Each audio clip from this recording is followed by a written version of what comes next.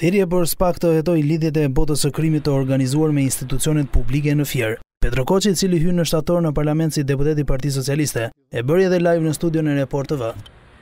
Dhe pikërisht ky moment duhet shfrytëzuar e para njëherë për t'i dhënë kurajo shumë zyrtarëve, sepse shpesh këto ndodhin për shkak të frikës që kanë zyrtarë të caktuar.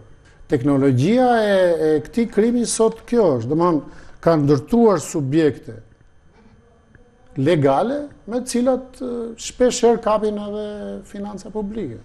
Koçi zgjodhi të mos fliste me emra konkretë, pavarësisht insistimit të gazetares, duke thënë se ka trajtuar fenomenin. Bashkia është njëri nga institucionet, nuk, nuk është vetëm bashkia në Fier. Janë, po, po, kujt i referoheni? Ka shumë institucione të cilat administrojnë financa publike të rëndësishme. Ku keni informacion që duart e drogës janë shtrirë mbi financat publike? Unë jam politikan, unë nuk jam as prokuror as hetues, por këto fenomene ndodhin edhe duen luftuar. Duke rritur kurajon e zyrtarëve të cilët duhet t'i kundërvihen çdo fenomeni të ngjashëm, Dhe natyrisht e treta duke duke i trembur këta njerëz të kësaj bote të krimit. Por ish-zëvendësministri i Mbrojtjes Petro Koçi më herët habiti opinionin përmes postimit të tij në Facebook, ku i bëri thirrje SPAK të zbarkojë në Fierin e pushtuar nga trafikantët e drogës, të cilët janë ata të parët që fitojnë tendera publikë.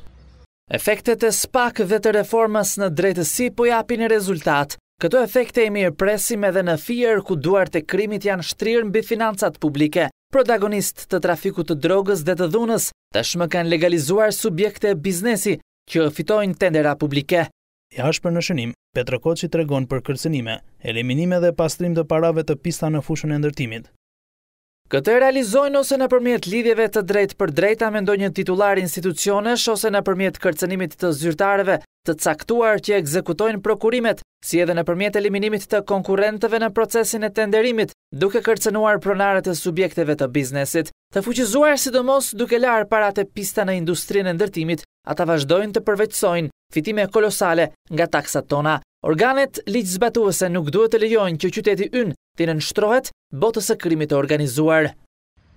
Bashkia e Fierit drejtohet pikërisht nga socialistët dhe kjo deklaratë befasuese vjen në një kohë kur SPAK ka qenë shumë aktiv, si fillim në rrjetën e SPAK, ra kryebashkaku i Lushnjes Fatos Tushe, i akuzuar për shpërdorim detyre dhe abuzim me tenderat, më pas, ishte operacioni në Ministrinë e Brendshme ku u arrestuan zyrtarë dhe ish-zyrtarë për tenderin e uniformave të Policisë së Shtetit dhe së fundmi lënia në arrest shtëpie të ish-zëvendësministres së Brendshme, Rovena Voda, e cila në këmbim të një vendi pune mori dy mijë euro, celular dhe një arkë me peshk.